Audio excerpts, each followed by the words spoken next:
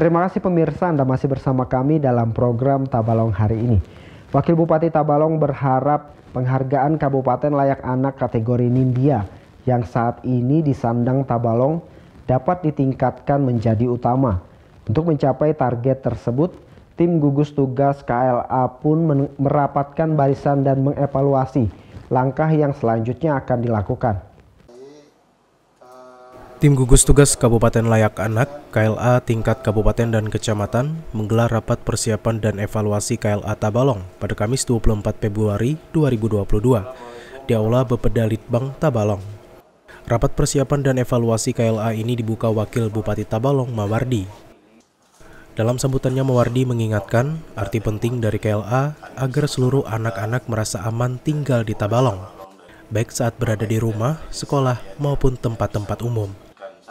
Mawardi pun meminta melalui evaluasi ini tidak ada lagi anak-anak usia sekolah yang harus mencari nafkah di jalanan. Nah ini tolong kepada kawan-kawan, kepada Bapak Ibu sekalian yang instansinya melakukan pengawasan itu tolong diawasi Pak. Jangan sampai kita ada itu. Kemudian jangan sampai ada pelecehan seksual terhadap anak.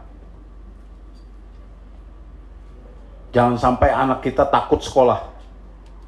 Takut di rumah Mawardi berharap Tabalong dapat meraih penghargaan KLA kategori utama tahun 2022 dari Kementerian Pemberdayaan Perempuan dan Perlindungan Anak Republik Indonesia. Pasalnya tahun 2021 lalu, Tabalong berhasil meraih kategori Nindya dan satu-satunya di Kalimantan Selatan.